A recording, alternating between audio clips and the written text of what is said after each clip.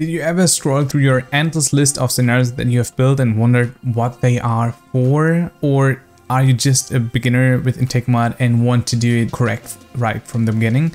Then this video is for you.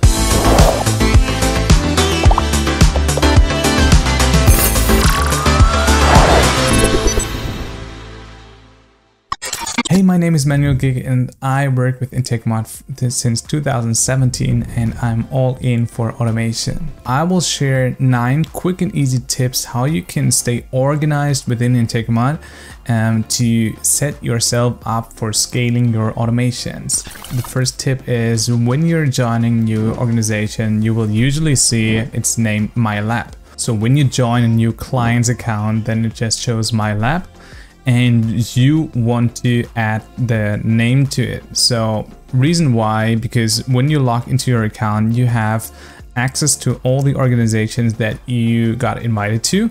And here um, I have to blur that out, but here I get all the organizations that I have access to. And if they would all be called my lab, I would have no idea what they are about. So the first thing I do when I join a new organization is renaming it by going to dashboard and change details and then renaming it to something like that. Save it. So now when I refresh the page, it shows that new name at the top left. And now I can easily find that organization again when I need it. So the second thing is I go into scenarios and create a new folder and name it TF for TechFlow and then uh, development because I create new scenarios. I created the duplicate one here now because I already did that. I create all my scenarios inside of that folder for that client when they are in development stage so I can easily access them anytime and when they are ready I move them into production folders. So the third step is add numbering to sort your scenarios. In this case, I started with 1.0 dot and 2.0 dot.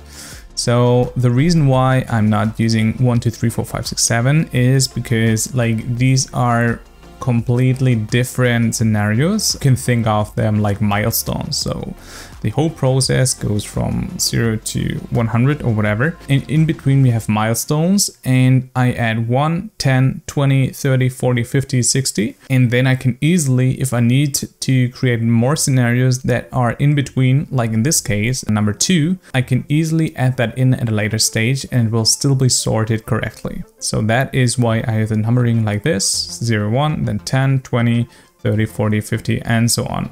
To be correct, this should actually be 0, 0, but I started with 0, 1 here. The fourth tip that I have for you is to include the modules or the main modules that you're using inside of that scenario in your scenario name. For example, we have Shopify here, we have Chargebee here, and Chargebee for the other ones. So main one that you're using, use it here. And I also added Airtable here. Um, and the reason for that is that it makes it super easy to search for them if you're looking for a specific scenario that is tied to a specific system, for example, Shopify or Airtable, and then you can just search through all your scenarios easily like that. The next thing is to add a timestamp.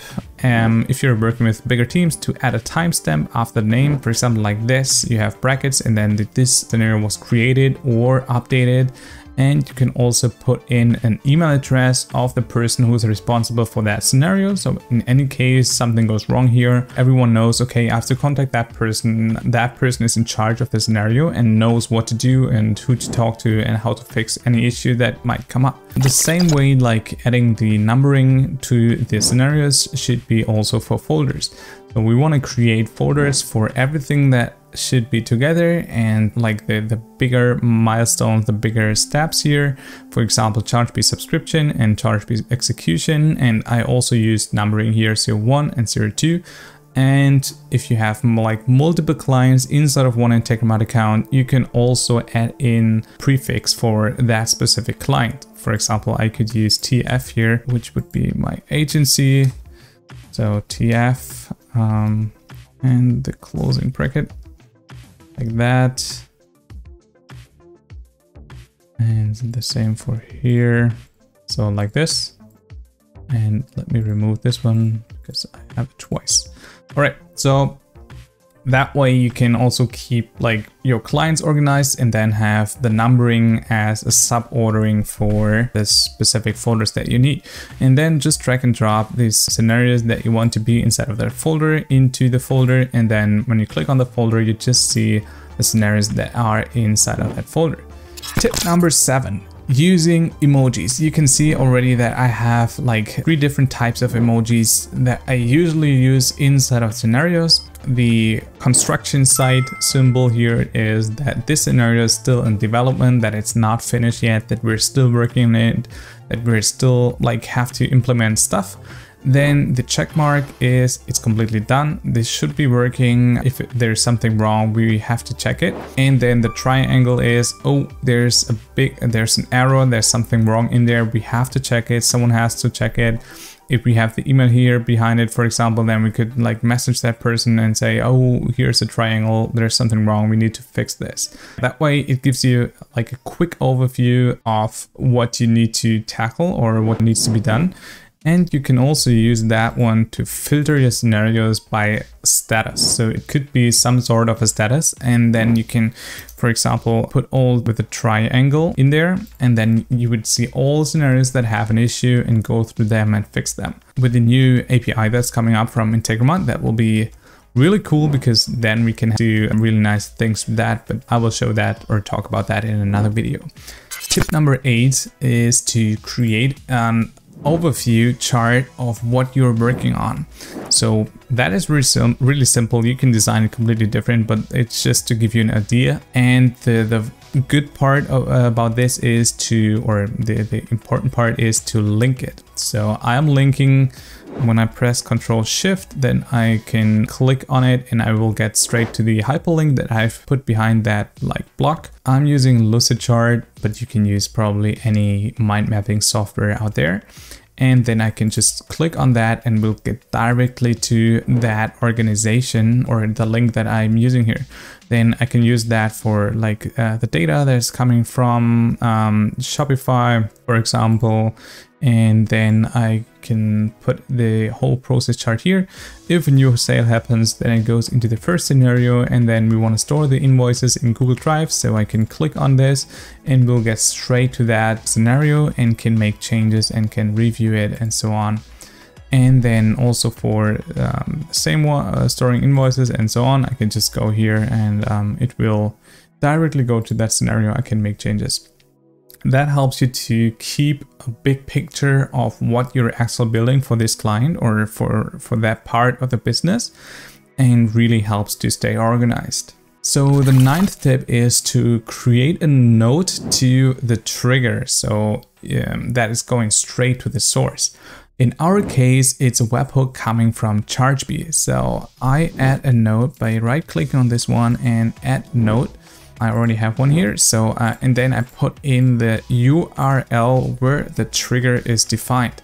So I just added in the API documentation uh, as an example, but like you would look into the account and then link directly to where the notification is being set to be sent out and that way you can easily make changes or know if you where it's coming from where the data is coming from and yeah that definitely helps. And here's a 10th bonus tip uh, for those that have watched it through until now. Rename every single module almost every single module. I didn't for the webhook and that is why i didn't notice right away where it's coming from when i looked at the scenario. But you should really rename every single module to know later on what is happening here. For example, here Chargebee download invoice. You can easily do it by just right clicking and then click rename and then you can give it any name. Then get year folder ID, get month folder ID, and then year month folder doesn't exist, upload a file there I didn't rename it so I would have to go into the module and think about okay what is it actually doing? For the other ones I did it like G Drive create month folder and then update folder ID of the month inside of my data store and the same for create year folder create month folder and so on. So yeah, these have been my 9 plus 1 tips on how to stay organized and how to organize your or your client's account in order to make it scalable and to know what is going on later on easily find scenarios that you're looking for. On Integromat, you are built by used operations and the best way to save money is by using Integromat functions. That way you can really reduce the amount of operations being used and create your scenarios a lot more flexible and more efficient. Here's an example like the format date function. This is an Integromat function and you have like a ton of different functions in-house that you can use in any text field. For example, the generative functions, the math functions, the text and binary functions, date and time array functions, and like some operational Integromat functions. And this really seems to be very complicated, but no worries, I've got a cheat sheet for you where every function that is available on Integromat is listed in there. You can easily search through it, you can copy and paste the formulas in it into Integromat directly into the text field here and it will give you more details about the functions and how to use them and also like uh, what are my most used functions and why. So click the link below in the description to get your own copy of the cheat sheet and just put it on your desktop, open it while you're working on Integromat and easily search through it by pressing Command or Control F and just putting in the function that you're looking for and you will get all the details that you need about that. Click the link below in the description and get your own cheat sheet. So thank you very much for watching the 9 plus 1 tips on how to stay organized inside of your organization to scale or to set yourself up for scaling.